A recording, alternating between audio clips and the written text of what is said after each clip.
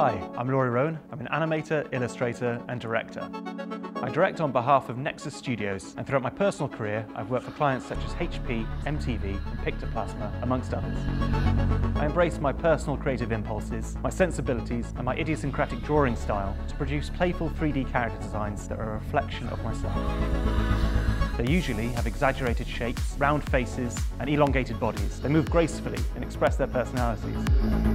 To provide a little dose of unexpected happiness, I place them in the midst of joyful, universal experiences and infuse them with a sense of celebration. Bring my creations to life, I use tools such as Photoshop, Illustrator, but primarily 3D Studio Max to model, texture, render and bring a physicality to my creatures. In this Domestika course, we're going to learn all the processes I use to make vibrant 3D characters that reflect your own personal style using 3D Studio Max. For the final project, you'll build your own set of characters, from sketching out an idea to building in 3D.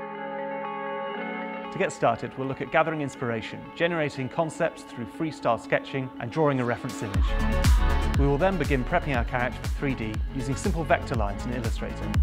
We'll set up our scenes in 3D Studio Max using primitive shapes and lights. After that, we'll make the basic forms of our characters and start to dress them.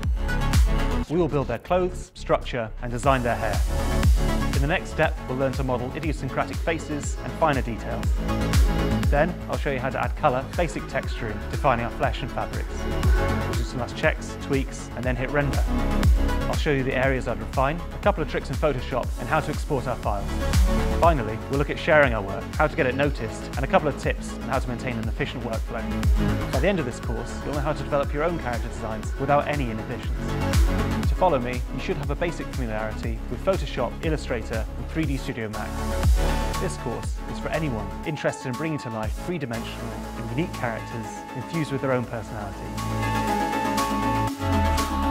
Explore your creativity with the endless possibilities of 3D character design.